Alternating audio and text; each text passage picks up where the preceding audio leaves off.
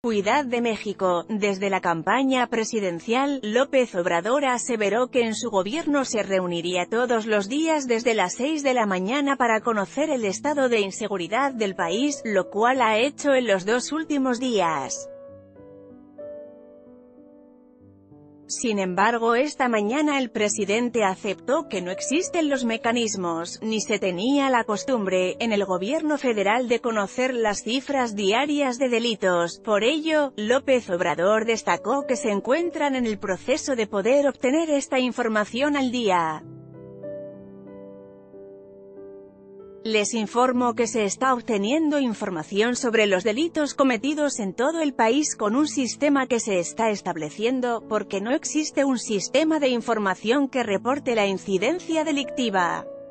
Diariamente foto, cortesía El sistema que existe es para la estadística, para tener información cada 15 días y nosotros queremos tener información diaria de todo lo que sucede para tomar decisiones de inmediato.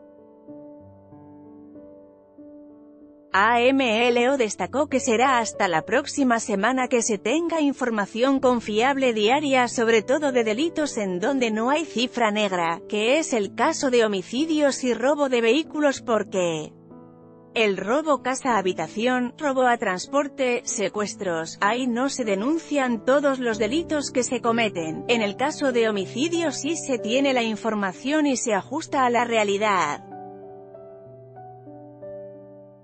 Me llamó mucho la atención, a lo mejor esto no se sabía, de que la autoridad más importante en la jerarquía del Poder Ejecutivo no contara con información diaria sobre los delitos cometidos. El mandatario aseveró que esta situación lo lleva a reforzar el criterio y la convicción de que lo más importante es que el presidente asuma la responsabilidad, que no se delegue este tema que tanto preocupa a la gente en las secretarías o instancias encargadas de la seguridad, AML o frente a todos los miembros de los medios de comunicación que atienden a su conferencia matutina.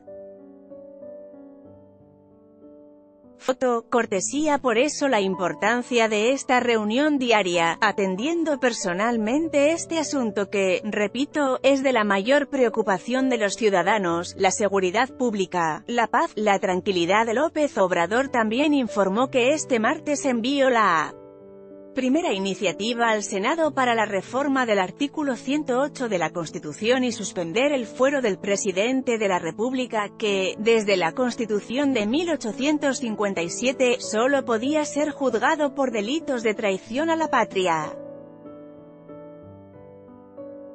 En esa constitución también por delitos electorales, explicó, la iniciativa que estoy enviando al Senado es para terminar con ese fuero, se termina la impunidad establecida en la Constitución, el presidente va a poder ser juzgado como cualquier otro ciudadano por cualquier delito, desde luego, va a poder ser juzgado por el delito de corrupción, aún estando en funciones, dijo. La primera iniciativa que AMLO mandó al Senado fue una reforma para eliminar el fuero al presidente de la República. Foto, cortesía en su segunda conferencia, el presidente aprovechó para decir que el terreno financiero ha estado estable en sus primeros días de gobierno. No hubo desequilibrios en el terreno, el mundo de lo financiero. No tuvimos problema de depreciación de nuestra moneda, del peso.